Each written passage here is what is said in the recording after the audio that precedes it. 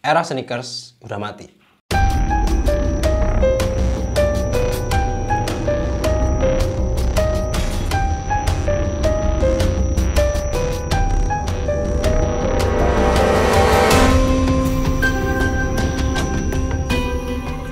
Akhir-akhir ini orang-orang itu lagi pada banyak ngomongin kalau era sneakers itu udah mulai mati. You guys, I think it's official. The sneaker market is officially dead. Banyak pro dan kontra, tapi gue bakal breakdown nih buat sedikit jadi gambaran kenapa sneakers itu dikatakan sedang mengalami transisi menuju kematiannya atau lagi dalam masa sekaratul maut nih. Tanpa basa-basi lagi, gue bahas langsung ke intinya.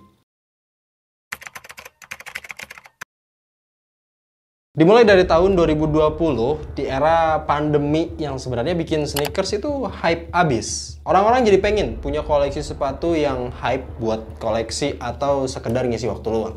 Tapi efek dari banyaknya yang kolek sneakers ini bikin value sneakers juga jadi sembarangan dan masif sampai akhirnya niche valuable sneakers itu hilang dan banyak yang bisa dibilang jamet-jamet sneakers ini ikutan sosokan hype bis gara-gara pakai sneakers. Akhirnya, alasan ini nyambung juga nih ke alasan kedua, yaitu sneakers limited sekarang udah banyak KW-nya.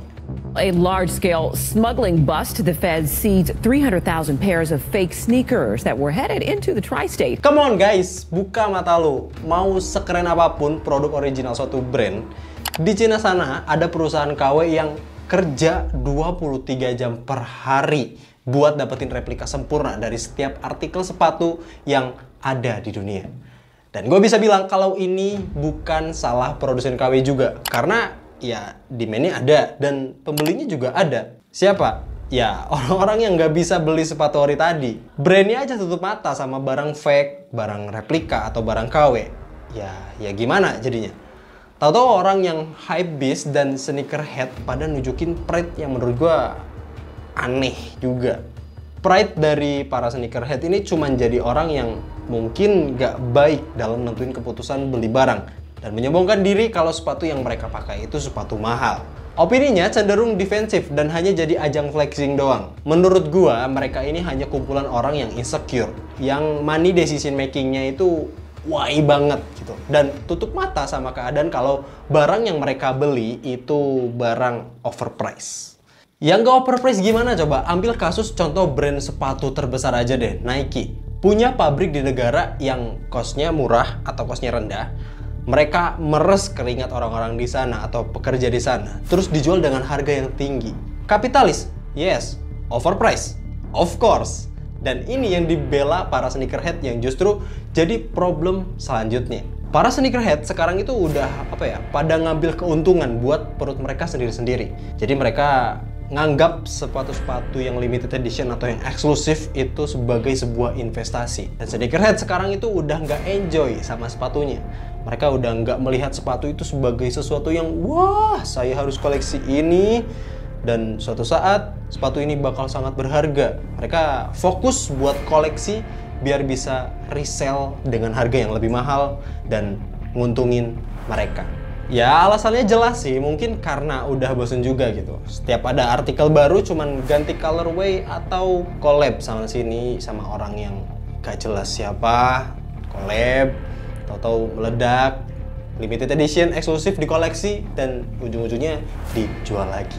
Akhirnya mereka fokusnya buat jadi reseller dan apakah brand terganggu sama ini?